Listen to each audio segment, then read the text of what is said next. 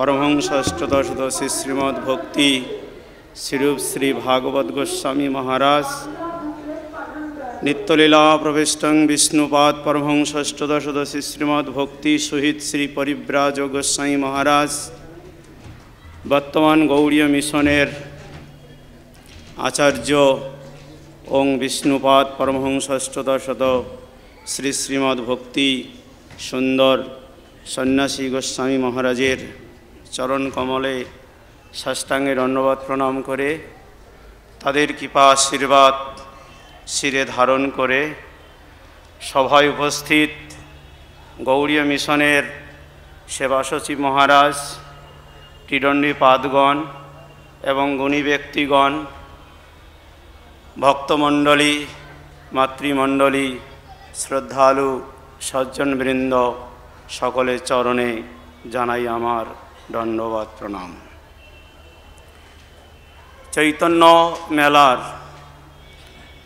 চতুর্থ দিবসে আজকের মূল প্রসঙ্গ হল গৌড়ীয় দর্শন। গৌড়ীয় দর্শন দর্শন বলতে শ্রীধর স্বামীপাদ তিনি বলেছেন, পরতত্ত্বের অনুভব এবং তার সাক্ষাৎকার। পরতত্ত্বের অনুভব এবং সাক্ষাৎকার কি করে করা যাবে?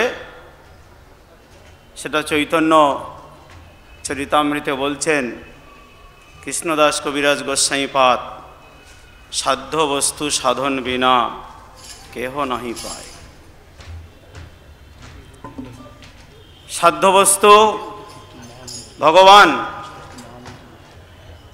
তাকে পেতে হলে আমাদেরকে সাধন করতে হবে। যে সাধনের পন্থা, কলিযুগ পাবনাবতী শ্রীকৃষ্ণ চৈতন্য মহাপ্রভু তিনি নিজেই আচরণ করে আমাদেরকে শিক্ষা দিয়েছেন।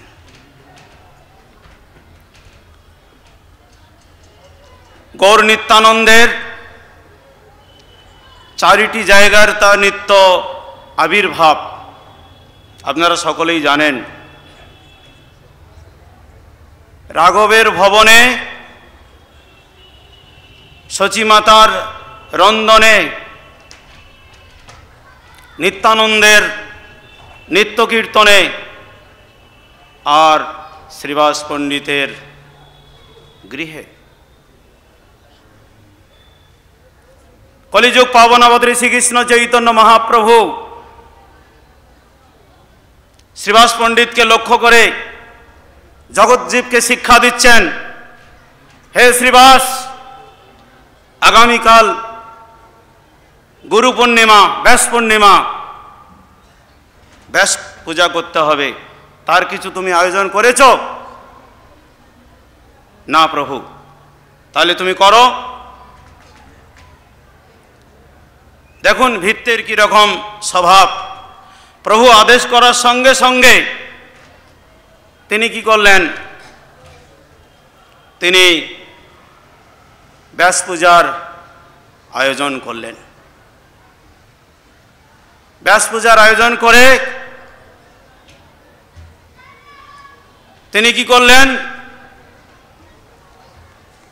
তার অন্তরঙ্গ পার্শ্বদগণ, নিজজনকে নিয়ে তিনি ব্যাস পূজার প্রাককালে তিনি কীর্তন শুরু করলেন।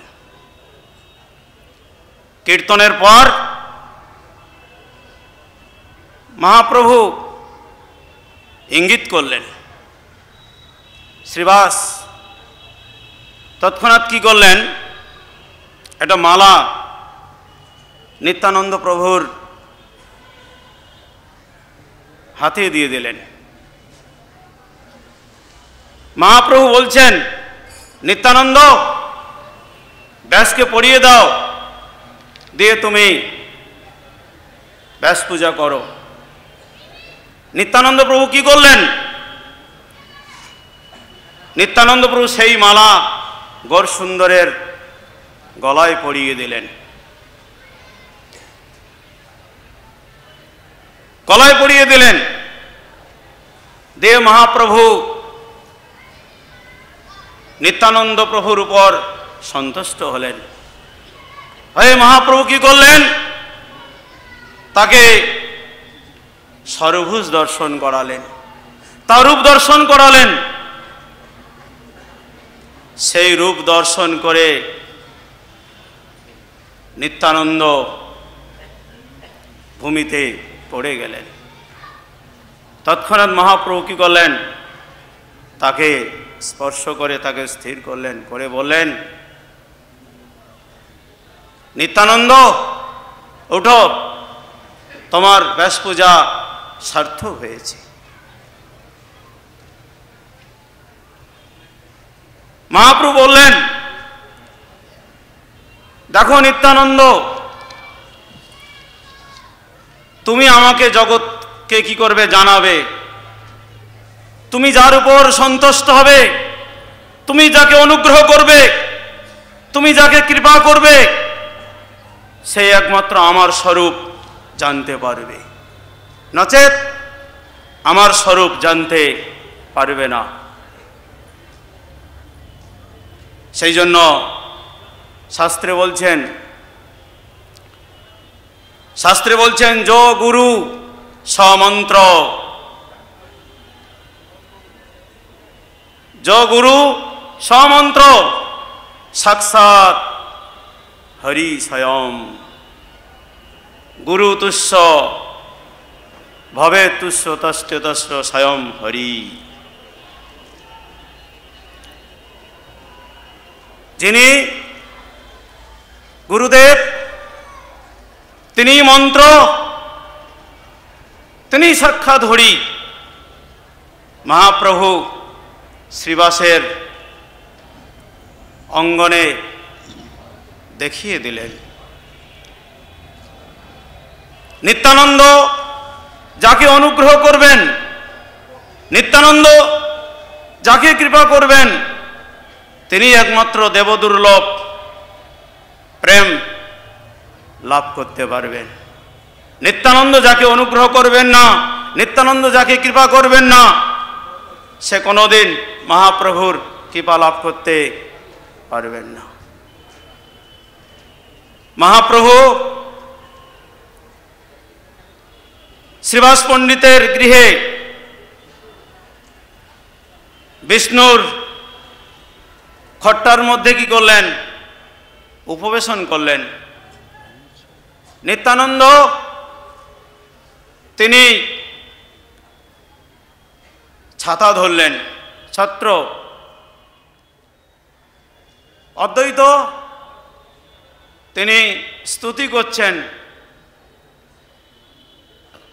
শ্রীবাস, চামর ব্যঞ্জন করছেন। গদাধর, তিনি তাম্বুল যোগাচ্ছেন। একই তত্ত্ব তিনি ছয় রূপে এই ভৌম প্রপঞ্চে তিনি লীলা করছেন। গুরু কৃষ্ণ প্রকাশ, অবতার শক্তি ভক্ত এই ছয় রূপে তিনি এই কলির জীবকে আকর্ষণ করার জন্য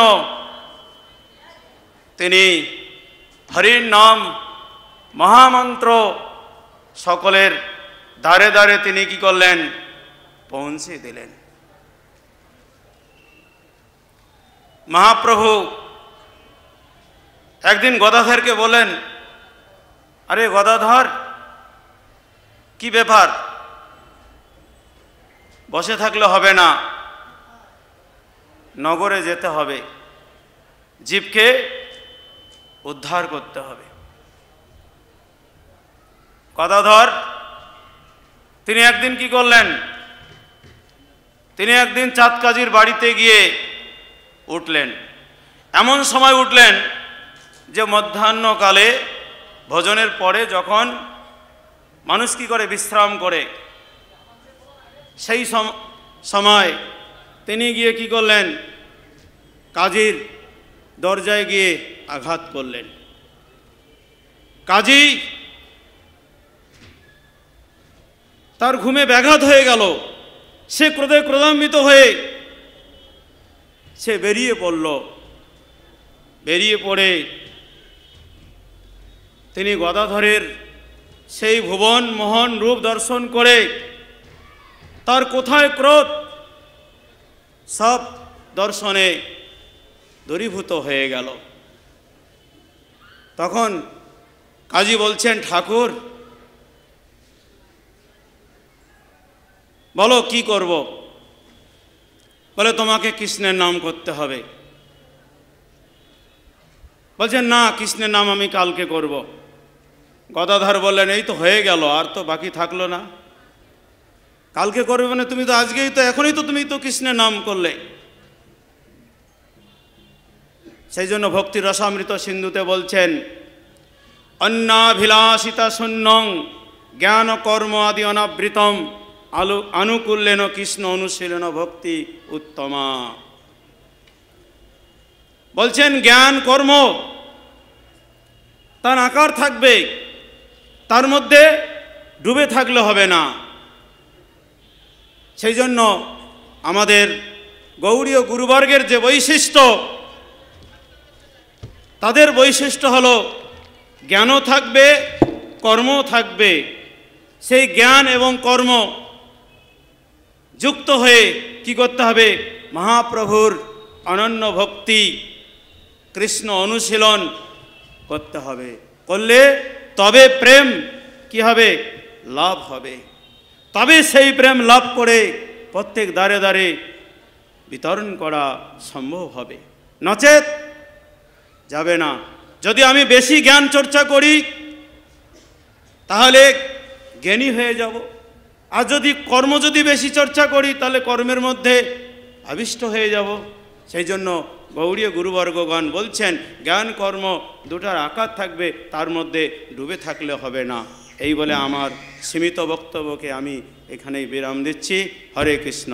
সকলে বলুন, হরে কৃষ্ণ হরে কৃষ্ণ কৃষ্ণ কৃষ্ণ, হরে হরে হরে রাম হরে রাম রাম রাম, হরে হরে। সকলেই বলুন, কলিযুগ পাবন অবতারী শ্রীকৃষ্ণ চৈতন্য মহাপ্রভু কি?